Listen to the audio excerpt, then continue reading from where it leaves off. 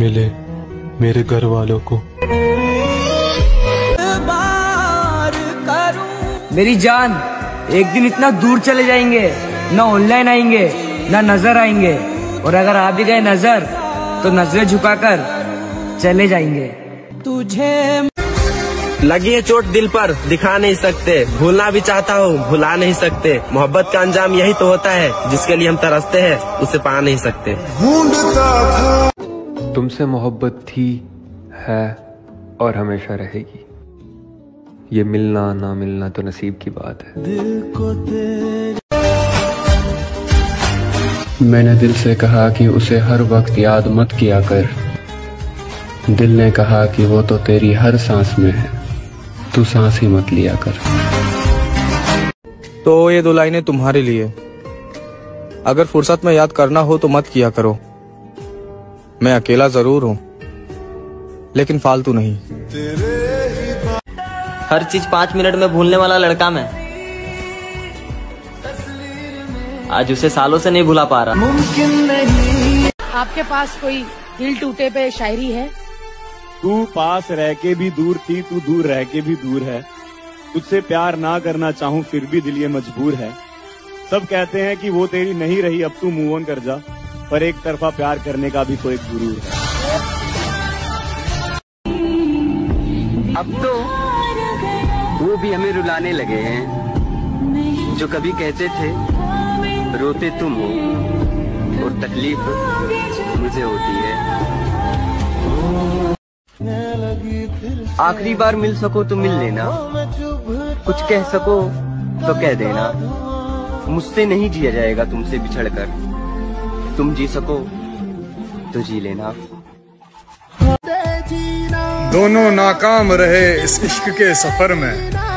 वो मुझे चाह न सका मैं उसे बुला न सका। यही फ़र्क तो है तुम में और हम में। मैंने तुम्हारे लिए सबको इग्नोर कर दिया और तुमने सबके लिए मुझे ही इग्नोर कर दिया।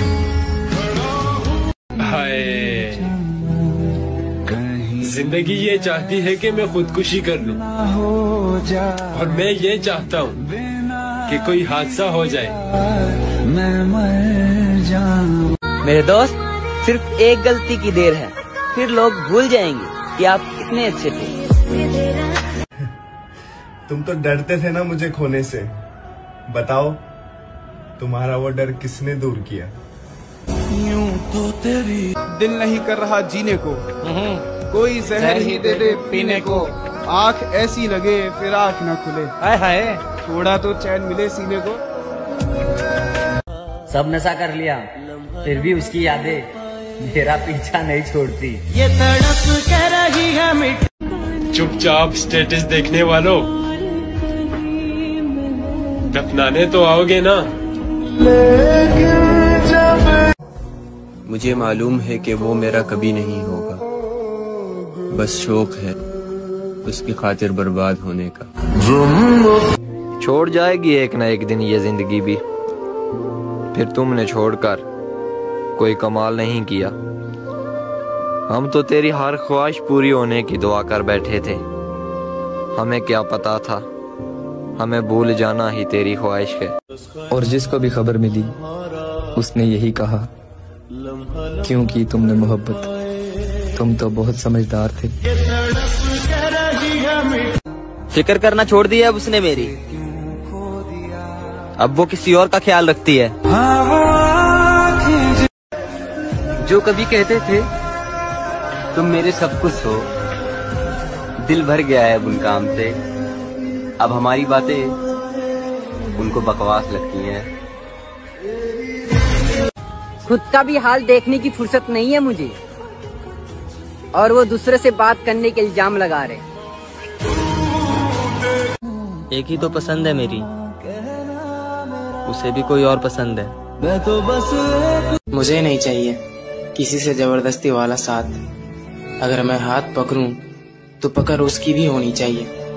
मैंने सुना है एक तरफा मोहब्बत बहुत रुलाती है और मैं घर का लाडला हूँ। मुझे रोने का शौक नहीं।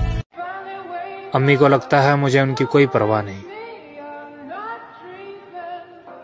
अब उन्हें कौन बताए कि मैं ज़िंदगी उन्हीं के लिए जी रहा हूँ?